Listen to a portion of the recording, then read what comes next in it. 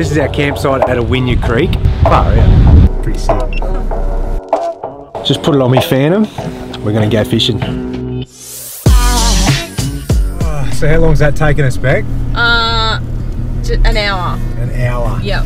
Alright, so we've just come across Woralie Road, which is not far from cathedrals on um, the eastern side of the island, the surf side. And we've come to a place called Awinya Creek. so I'll tell you what, it's like the drive, it's not a tough drive, it just No. takes you a while. It's, I Yeah. think it's, I don't know how many Ks it was. I didn't get car six. so That's a good 16 from the turn off, but uh, one tip, and we got told this beforehand, make sure you try and hit, if you want to come and camp here, hit it on low tide because I'm going to show you now, you're going to go across a creek. So if you hit this at high tide, then you're probably going to really struggle. So anyway, we're just going through it now. Not much water in here, but a big high tide, mm. then I reckon you might struggle getting through. But check this out once we come up over the hill here. Oh my gosh. Shut the front door.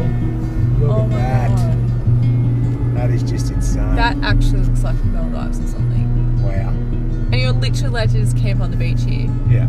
So we'll set up, we'll find a spot on the beach, Oh my god, and we'll so show you what this is all about. Far out.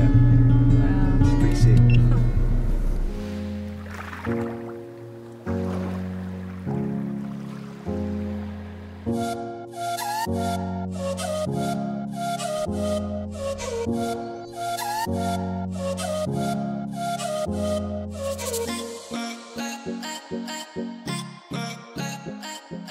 is our campsite at Awinya Creek. Far out, mate. Well, I thought Wathumba was bloody good. You should check this place out. So, set up here like this. Pretty cool, I know. If you look over the back here, which I'll show you a bit of footage of, there's like Awinya Creek, which is a freshwater creek that runs in from out of the hills up here somewhere. Comes out and and comes out the beachfront here. And then you turn around here and look what we got. We're actually camping on the beach, absolute beachfront. It's on the western side of Fraser, so most of the wind comes over the top here. You've got flat water out the front there. It's just perfect for kids. Fresh water one side, salt water the other. There's another campsite a bit further down, which is pretty popular. Mate, this is specky, eh? So we're to spend a few nights here. Like I said, I didn't think we'd beat Wathumba and Sandy Cape, but it just keeps getting better. Awinya Creek. You're at the top of the list, mate. Hey? Far out.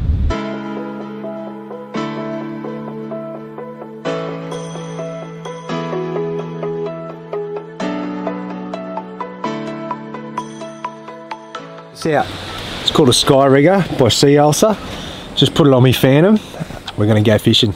All we gotta do, put our line in here, clamp it up, I can fly it out, control for tuna, marlin, mackerel, whatever, or can get to where I wanna go, yank on the rod, and she'll drop the bait out. So, pretty cool for us now. We'll take this on our travels.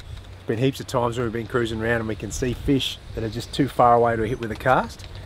Not anymore.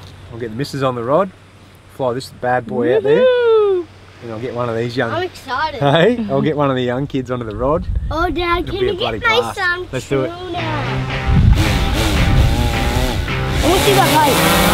Yeah. So there we go. It's holding that up now, Garmin. Got the rod on free spool. I'm just going to take him out. How good's that?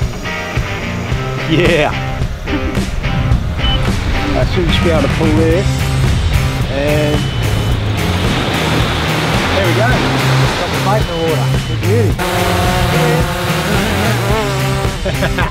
How easy is that?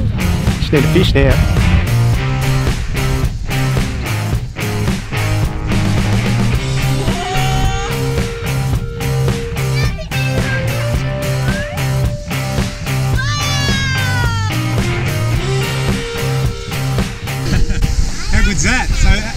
First bait drop with the Sky Rigger. Couldn't see any action out there, so we just dropped it out the back, about 140 metres, and then just put the uh, reel on free spool. And look at that, little shark, eh? you never know what you're going to catch. So hopefully next time it's a mackerel or a tuna or a big tailor or something. But anyway, it could be a fun, eh? Could never cast that far with a beach rod. Sharks are my favourite! So I'm a bit sad this morning, hey? This is our last day on Fraser. We've spent the last few nights in this epic paradise, if you'd want to call it, called Awinya Creek. And uh, we have to go home today. So I'm keen for a shower, but Yeah, I'm keen to get have a shower too. Tell you what, sleeping in double swag with this thing is a bit on the nose. Eh? But uh, anyway, um, I hope you got some good info out of this. Like all we've got to do today is head back down towards Kingfisher Bay, get the ferry back to River Heads in Hervey Bay, and that's our trip done. But we've shown you a few ways to do it. So uh, what have we done? We stayed at Eurong Resort, so we showed you that. Uh, great place to base yourself and explore if you don't have camping gearing and um, your own self-sustained sort of setup. And then we've double swagged it around the island to some of the more remote locations, especially up the Sandy Cape and on this western side here. They are just dead set beautiful. So, oh mate, and I don't know what to say. Fraser has just blown our minds. It has been so good, hasn't it, Beck? absolutely stunning, stunning place. Oh. The most pure white sand, amazing beaches, fantastic water temp. Ah, So anyway, come. I'll just show you our last setup. Come through for a walk through here and spin around. This is what we're camped on, so we get to look at this every morning or all day. And then we spin around. Got the double swags over here. These are ARB Skydome double swags. They've been dead set. We've done a few trips away from the van, and these have been by far the best option. Like, heaps easy to heaps easy to set up with Yeah. three kids. And plenty of room. The kids have slept in one, we've slept in the other. It's been awesome, mate. We're warm, we're comfy. Yep. You know, you get good sleep, so everyone's happy.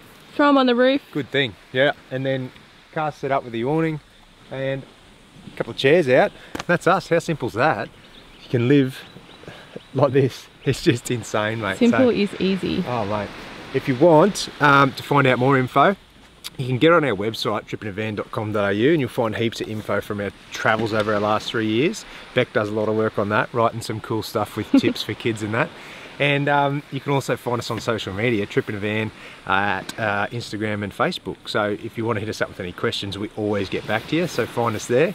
And our YouTube channel is Kicking Goals too. So where you'll find heaps, lot, heaps of longer, more informative episodes like this one make sure you check out that that and subscribe and uh, you won't miss a thing. So massive thanks to our major partners. We've got a few on board. So Mazda Australia legends got ARB got Jurgens caravans caravan RV camping and Camplify. So thanks to those guys. They keep us on the road and we can keep coming to these amazing destinations living this cool lifestyle and uh, making some epic vids along the way. So And good um, information for you guys too. Definitely, yeah. So, anyway, that's Fraser Island. Hope you enjoyed it. I know we did. So, check it out for your next holiday.